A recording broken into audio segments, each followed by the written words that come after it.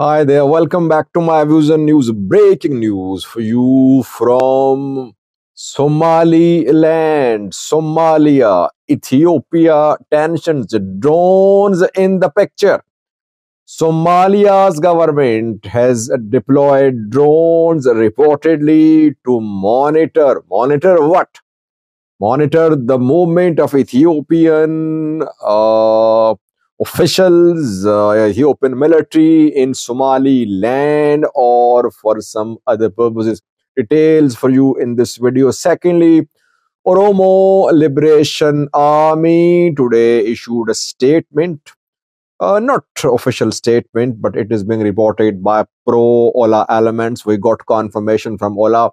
The statement is about the strike which has been ongoing in Oromo for the last five days. It seems that Oromo Liberation Army has decided to put an end to this strike, a debilitating strike, paralyzing strike. What are Ola's plans? What is Ola's next plan? What was the objective behind this ban on movement of vehicles, movement of uh, uh, food items to and from um, Oromia region.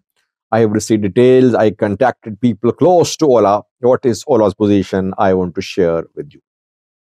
Firstly, viewers, big development uh, from the Horn of Africa, where the last five days we have been seeing unprecedented tensions between Ethiopia and Somalia. Unprecedented in uh, recent history though the two countries have fought wars, obviously, in the past, Ethiopia and Somalia, but in recent history, there has not been a big escalation between these two countries. Now it seems that uh, Somalia has decided to pull no punches. No matter what happens, it wants to stop Ethiopia from recognizing Somaliland from establishing a base and port in Somaliland. This conflict started five days ago when Ethiopia signed an MOU with Somaliland's government. Somaliland is a self declared country. International law recognizes Somaliland as part of Somalia. And according to Somaliland President, Ethiopia will recognize my land as a country in return for Ethiopia acquiring land, uh, coastal land in Somaliland for a uh, period of 50 years. We saw that today a big protest was held in uh, Borama, which is very close to Ethiopian border. It is in Awdal zone of the Somali land. And uh, in Awdal is uh, Lughaya, where Ethiopia is planning to establish a port and base reportedly.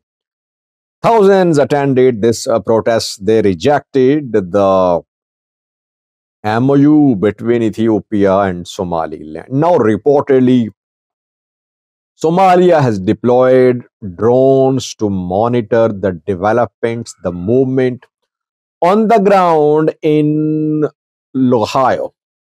Lughaya.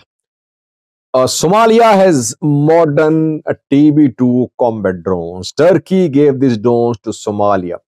Turkey is helping Somalia's government in the fight against Al Shabaab. Turkey has a military base in Somalia. Turkey has been training Somalia's military. So Turkey is a close ally of Somalia's government. And Hassan Sheikh has contacted a few world leaders so far. Erdogan is one of them. He contacted Erdogan, uh, Yoweri Museveni from Uganda, and Al Sisi from Egypt. All could be big players in case of direct confrontation between Ethiopia and Somalia. That is why Hassan Sheikh held telephonic uh, conversation with Erdogan two days ago. Uh, Turkey provided TB2 drones are being seen over uh, Lughaya reportedly.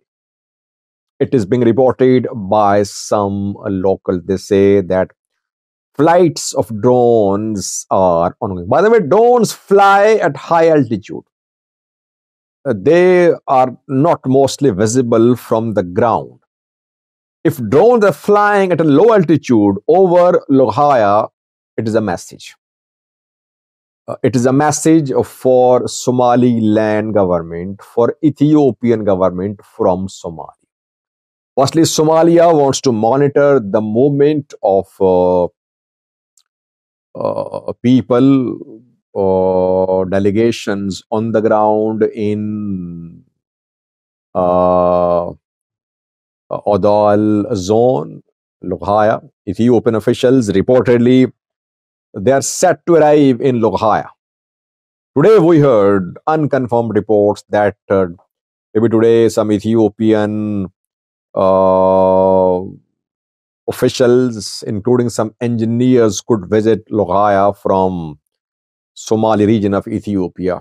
Uh, then we saw protests in Awdal, in Borama. So I don't think that today Ethiopian officials uh, entered Awdal to reach uh, Lughaya. Before that, Somalia is using its drones to monitor the movements on the ground in Lughaya. I think deliberately the drones are flying at low altitude. Uh, Somalia is showing its capabilities to Ethiopia, to Somaliland. That Somalia's military capabilities should not be taken lightly. Both Ethiopia and Somalia are using TB2 drones. Turkey gave these drones to the two countries. Ethiopia used these drones against uh, Tigray fighters, and now drones are being used against Fano fighters in the Amhara region. Somalia has been using these drones against Al Shabaab fighters. Now, the TB2s of Somalia could be uh, pitted against TB2s of Ethiopia. Alarming developments strong message shared by Somalia's government that no matter what happens, it won't let Ethiopia gain access to the sea in Somaliland.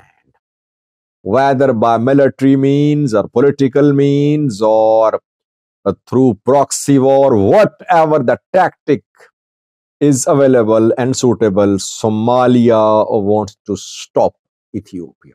This is what is happening. And today's protest in Awdal was a big protest. In Burao was a protest. Uh, there was a protest held to around 24 hours ago to the east of Hargeisa. Then in Awdal, uh, close to Ethiopian border, a big demonstration. I'll speak in detail about some other developments in the next live chat session, today's live chat session after around two hours. Uh, so uh, join me uh, for the live chat where we'll read comments. Take I'll take your questions too, and I'll share more developments about this big uh, escalation of tensions between Ethiopia and Somalia in Somaliland. Second was Oromo Liberation Army has ended its call for a strike Five days ago, Oromo Liberation Army announced a ban on movement of vehicles and goods across the Oromia region. And we saw road closures across Oromia, roads between Oromia and BG, Oromia and Sidama, Oromia and Amhara, Oromia and uh, Gambela, and other inter regional roads were blocked intra-regional roads were blocked as well uh, because uh, Ola members uh, warned people against traveling.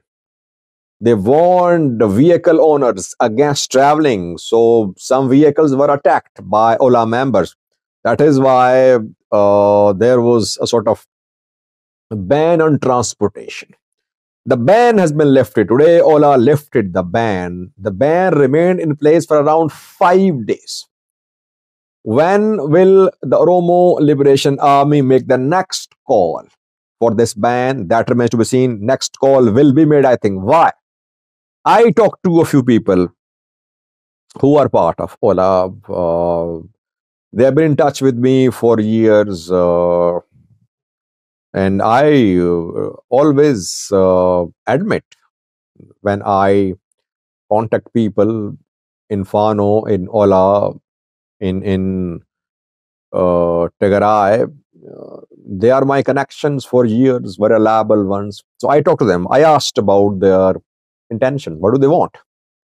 Why are they adopting a new strategy of market closure, business closure, road closure? What is the real objective? They say that they, by the way, I concluded that two days ago in the live chat. I said that uh, Oromo Liberation Army basically wants to hurt Ethiopian economy. And that is what was confirmed to me by the Ola representative today. He said that uh, macroeconomic progress, if it leads to revenue generation in Ethiopia, revenue generation will be used by Ethiopian government to buy drones, to buy weapons. And these drones, weapons will be used against uh, poor Oromo people. Oromo is already dying. That is why uh, Ola cannot allow such economic activity which is going to endanger Oromo civilians. That is what I concluded last night too, and uh, two days ago too. That Ola's main target is economy now. And uh, whether Ola is following Fano or Fano is following Ola, both now seem to have same objectives. Fano destabilized entire Amhara region. Businesses closed, investments to a standstill in Amhara. Ola doing the same in Oromia. And uh, I told you last night in live chat that prices of some basic food items are going up in Addis Ababa and the parts of Oromia. Ola does not want inter-regional movement of goods. So ban has been lifted, but not complete lifting of ban so far. Intra-regional traffic is allowed to operate now inter-regional uh, cargo traffic not allowed reportedly. So Ola members will continue their attacks on vehicles traveling from Oromia to other parts of uh, uh, the country or vice versa. That is what I uh, have been able to confirm. So a big challenge for uh, Ethiopian government. Question is, why, did, why does Ola want to cripple the government economically?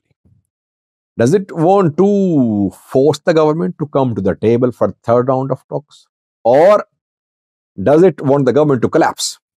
And it is trying to destabilize the government so that the government is so the government collapses. Difficult to say. Both uh, objectives, maybe both are objectives of the Oromo Liberation. But it's now attack on Ethiopian economy what Ola and Fano are doing. Ban lifted, uh, traffic movement resuming in Oromia, markets allowed to open by Ola, inter-regional traffic and movement of goods transport still banned by the Oromo Liberation Army. Thank you for watching.